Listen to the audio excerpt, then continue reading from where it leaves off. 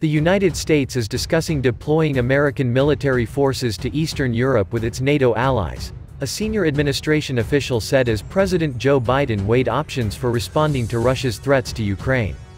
Defense Secretary Lloyd Austin has placed 8,500 troops on high alert to assist the defense of NATO allies, Pentagon spokesman John Kirby told a news briefing. He said no deployment order was given. The decision has been made to place these units on higher alert and only on higher alert, Kirby said.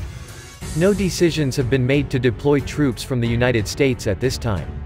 With Moscow amassing more than 100,000 troops on its neighboring border and no diplomatic breakthrough in sight, the West is stepping up its response amid growing fears that an invasion is imminent.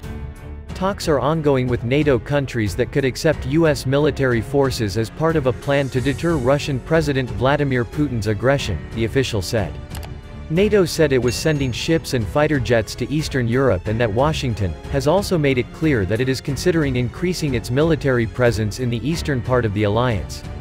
Biden participated in a 90-minute video conference with Europe to discuss Russia's military buildup on the Ukrainian border. NATO Secretary-General Jens Stoltenberg, British Prime Minister Boris Johnson, Polish President Andrzej Duda, French President Emmanuel Macron, German Chancellor Olaf Scholz, Italian Prime Minister Mario Draghi and other leaders participated in the call. In a statement, the White House said Biden and European leaders reaffirmed their concern about Russia's military buildup on Ukraine's borders and expressed their support for Ukraine's sovereignty and territorial integrity.